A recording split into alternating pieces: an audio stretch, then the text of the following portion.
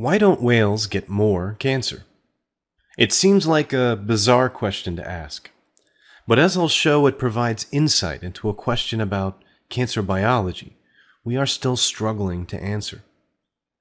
First, we'll need to talk about what cancer is and where it comes from. All living animals that are multicellular develop cancer. Yes, sharks, and whales, and mice, and robins, and T Rexes, and dung beetles. Cancer is what happens when the mechanisms in your cells fail to regulate processes of growth and regeneration. Like a tightrope walker with an infinitely long rope, it's not a question of if we will get cancer, it's a matter of when.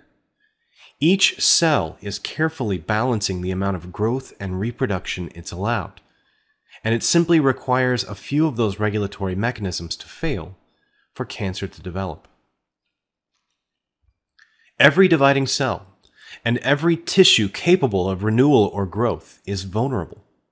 I'll talk about specific mechanisms in another video. Suffice it to say that all it takes to produce cancer is time and cell divisions. The more time and the more cell divisions, the more cancer we would expect to see. That's why it's so puzzling that whales don't get more cancer.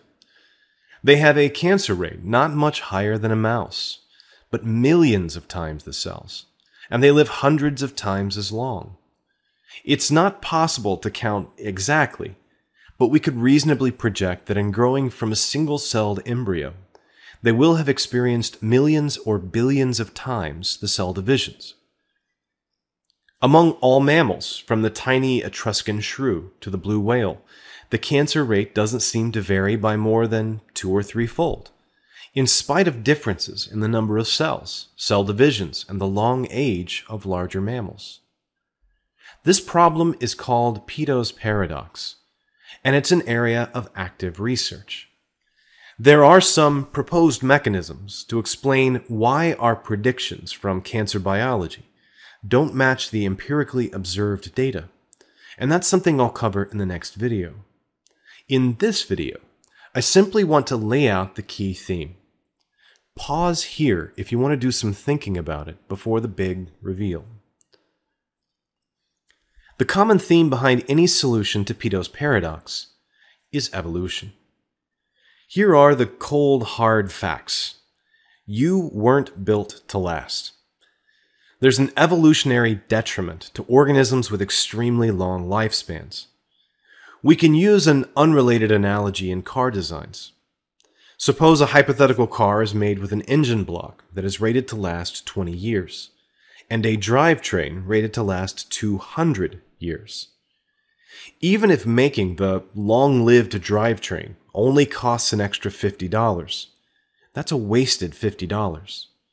The drivetrain can't be reused. Having it outlive the engine by so much is a needless investment of resources.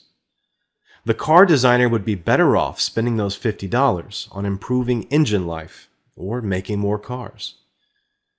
There's a trade off in expending resources that we're going to call the zero sum problem, and which biologists call evolutionary trade offs. Like our car designer, the process of natural selection focuses on the weakest component of a living organism. We can think of an evolutionary lifetime as the time from when the organism is born to when it produces its last offspring. At that point, survival is no longer favored for that organism. Given the zero sum problem, it makes sense to limit cancer on the basis of an evolutionary life cycle. Any organism that gets cancer and dies before it has a chance to reproduce is selected against. Our giant blue whale is therefore under much stronger selection to develop the anti cancer strategies we'll talk about in the next video. A small rodent, on the other hand, can afford to have a much higher cancer rate because it can produce offspring at an earlier age. Their relative age and size difference don't impact on cancer rate in the way we would predict from cancer biology because natural selection is balancing out the difference. That's a fairly easy one to puzzle out. A large mammal, during their evolution towards larger size, must acquire adaptations and strategies to make sure enough of the population avoids cancer long enough to pass on genes to viable offspring. That means that looking at the largest animals on Earth is going to tell us a great deal about how we can treat the cancer that affects humans in their older age. It's yet another example of how evolution is important to medical researchers. It forms the theoretical basis for much of cancer biology, and in surprising ways that I hope I can talk about in future videos. We talked about why a drivetrain that lasts two centuries isn't of much advantage attached to a two decade engine. And in fact, it would be selected against if it cost even a very small amount to make it so long lived. Next up, we'll talk about the trade offs that are likely involved in anti cancer strategies in multicellular animals. Many of the cellular mechanisms that would have lowered human cancer rates were actively selected against during our evolution, for the same reason that building a two century drivetrain isn't a good strategy in car design. Is there some way we can improve on the random and unguided process of natural selection in designing therapies? Stay tuned, and thanks for watching.